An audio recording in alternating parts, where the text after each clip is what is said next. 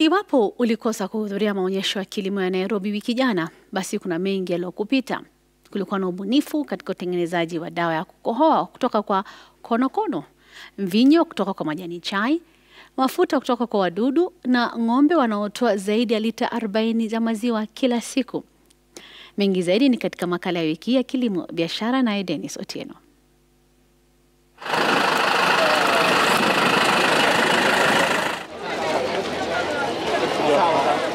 Wakubwa kwa wadogo walifurika katika uwanja wa Jamhuri jijini Nairobi kwa maonyesho ya kilimo na kushuhudia ubunifu na teknolojia mbalimbali katika nyanja ya kilimo.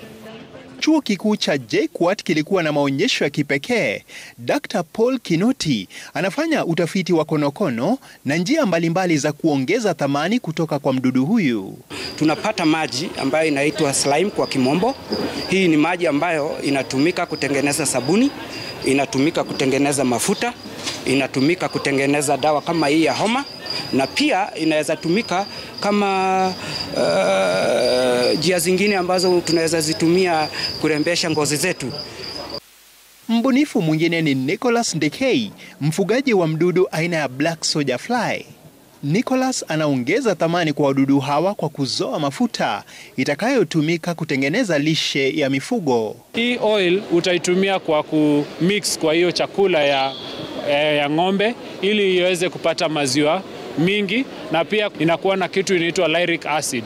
Hiyo lyric acid inatumika kwa kufanya hiyo health ya hiyo ng'ombe ikuwe mzuri sana. Idadi kubwa ya wageni hata hivyo walivutiwa katika hema hii ya KTDA, kivutio kikuu kikiwa ni mvinyo kutoka kwa majani chai.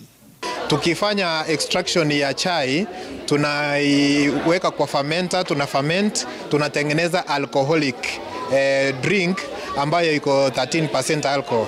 Hii ni table wine ambayo mtu anafaa kukunywa uh, kama glass moja baada ya chakula. Hii inasaidia kwa mwili ya binadamu eh, kama kwa kusaidia in digestion. Nacho chuo kikuu cha Nairobi kilikuwa na mtambo huu wa kutabiri hali ya anga ambao uliwavutia wengi. Arnold Bet amebuni mtambo huu kusaidia wakulima wadogo kujipanga hasa msimu wa upanzi.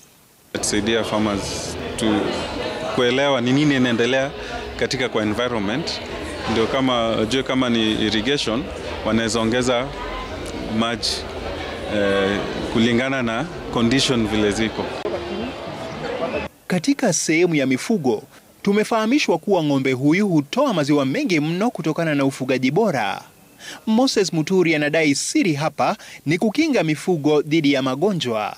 Tumeona ikiongeza mambo ya, ya lita za maziwa kutoka kwa lita kadri ya 25 hivi kwenda katika lita ya 30 35 hivi.